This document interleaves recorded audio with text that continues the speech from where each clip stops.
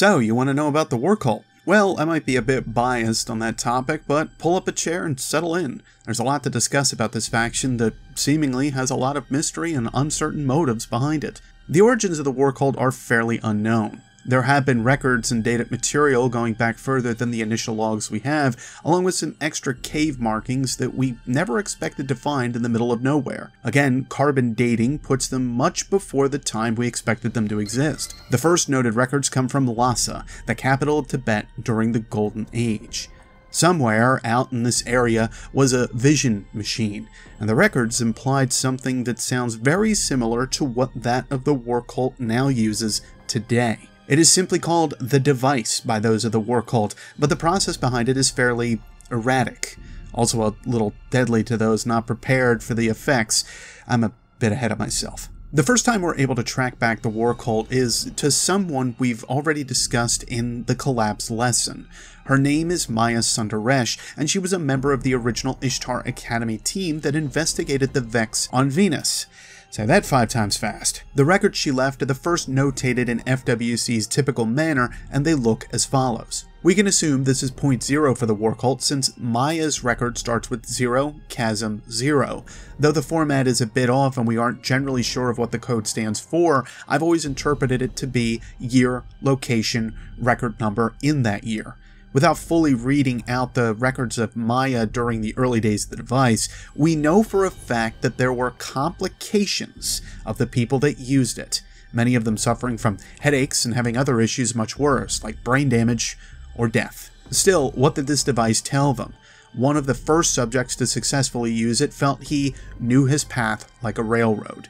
He later committed suicide, and this led to the Warmind that was involved in the project creating a drug that made it so the people involved couldn't do that again. Just how that's the case is anyone's guess. Let's back up a bit more with Maya to explain the next point. In her time at Ishtar Academy, Maya and her team were copied by a Vex Goblin. I know we covered this a bit already, but the process was called mind forking. Let's focus on Maya alone for this example. Maya was copied 227 times during her time under the control of the Vex.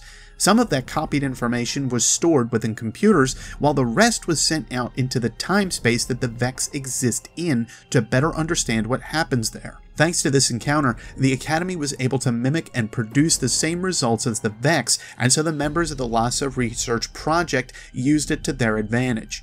Maya used such specific wording to say, we turn to ritual behavior to appease it, where the it is the device. You can now imagine where the war cult got its name from. As an added piece of speculation, this also makes me wonder if this is where Clovis Bray got the idea to make exos in the first place, being able to transfer minds or something to that effect. Many surmise that the stranger has something to do with the war cult, but it's still unknown what hand she may play in this time war. Could it be one of the copies of the members of the Ishtar Academy team? What else has happened to those copies anyway? In either case, this being the first records on file of the war cult, it does paint a very disturbing picture of the faction. But let it be known that they stand to better increase the defenses of the city and understand that in the future, there is only war. Lakshmi-2 speaks on several battles she has seen or been involved in. We're not exactly sure of that. Lakshmi herself is a bit of an enigma, showcasing that regular practice of mystery amongst the war cult's members. She arrived suddenly in the tower with no real mention of origin, purpose, idea. She was just here. Since that day, she's been similar to the speaker, but preaching different ideas to humanity that there is a future that needs to be prepared for one of fire, misery, death, and destruction. War is the only constant, you'll hear Lakshmi say often. War is the only constant found within any of the timelines or alternate paths that those whom use the device seem to report seeing, or at least to a point. An overall log record from the device's use reports 47 subjects having used it in a given time period. Of those 47, 11 saw timelines where the darkness prevailed, 13 show the city had fallen or was destroyed, and 23 were babbling nonsense into the winds of their subconscious. Over half of the subjects involved could actually use the device and see what was happening. What the War Cult has brought us is a means to catalog our records, along with showcase a power that existed in the Golden Age that we know little of, and just how far it went. We don't know if the War Cult are time travelers, but they can see into time to a degree. We don't know if they've gone far back into the past or far out into the future. We don't know if any of them can communicate with our past or future selves at all past these records that they show once in a while. Well, save for one member one that Lakshmi has no memory of and no recollection that he exists within the war cult yet or had before. His name was Praedyth. Little is known of Praedyth aside from being captured and held by the Vex for a rather long time. He successfully sent out a signal to reach us one day about two years ago, and the dead ghost we found that time inside the Vault of Glass revealed to us his studies on the Vex. Yes, Praedyth was held in the depths of the vault, seen possibly as a Vex treasure, or simply one they needed to understand to his last breath. In any event, we dig deeper, find his visions and ideas, and are eventually led to a war cult ghost that belongs to him, holding information for a weapon that we've received once already and now stand to own again. The Stranger's Rifle was, or becomes, or is, the no time to explain.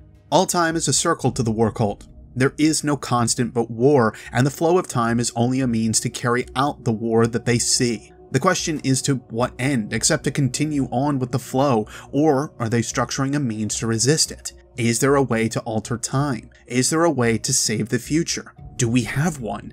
Perhaps Lakshmi knows for certain, but I, for one, will at least continue to fight until we find a timeline that shows us as being safe from the darkness. If that never comes, then I will just continue to fight on. Still, those are the concepts and basic origins of the War Cult. We'll be covering Dead Orbit next time, and I'd like you to study a few star charts till then. Let Ikora know how I'm doing with a comment card, and if you're not sure what to say, leave the phrase, one constant, to at least show you got through the lecture. Also, if you could just hit the like or dislike button to also let her know how I'm doing. I'll see you next lesson class, but until then, keep with the flow. It's all we can do for now. Dismissed.